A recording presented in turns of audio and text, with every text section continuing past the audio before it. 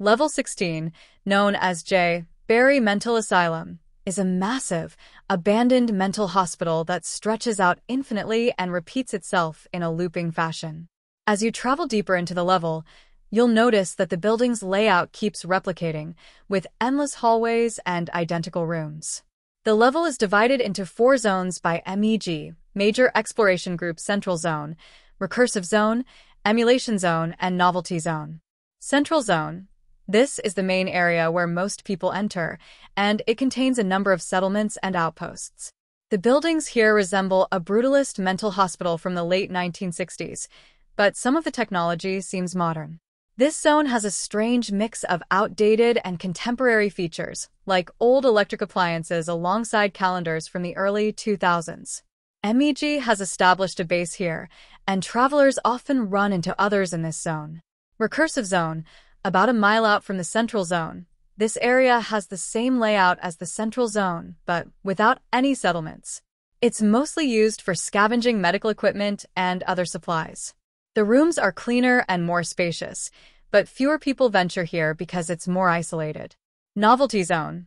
This area is located two to three miles away and features more futuristic architecture and furniture. It resembles a modern, cutting-edge facility, and the layout is more complex, with multiple floors and larger rooms.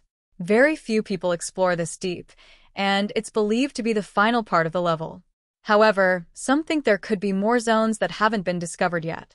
The hallways in level 16 are pristine, almost unnaturally clean, with smooth concrete floors and walls painted in white or blue.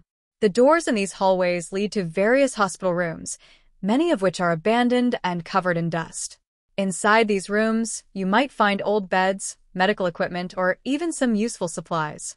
Oddly, the windows show a bright, empty void, and some believe the windows themselves are alive.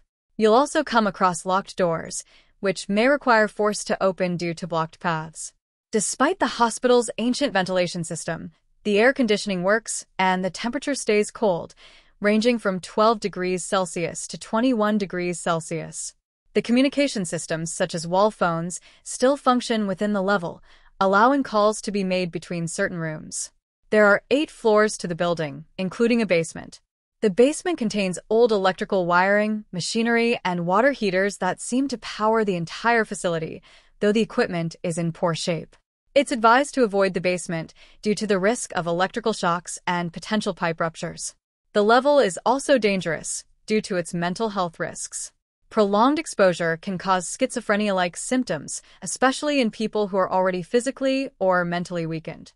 These symptoms include hallucinations, paranoia, and confusion. It's common for affected individuals to lose track of where they are or believe they're in another reality. To manage these symptoms, travelers are encouraged to drink almond water, which can help reduce the severity of the mental effects.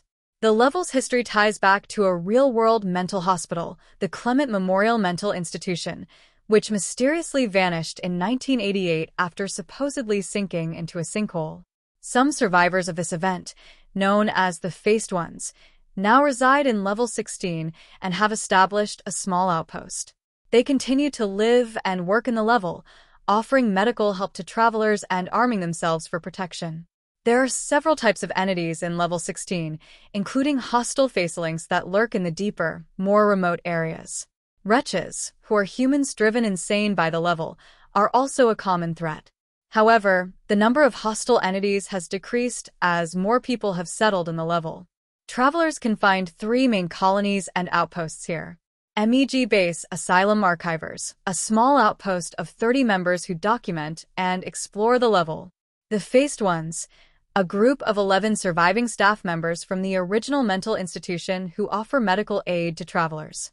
Uni Citadel Outpost Hospital, a team of 30 people who manage a cafeteria outpost where they trade food, drinks, and medical supplies. There are various entrances and exits to level 16.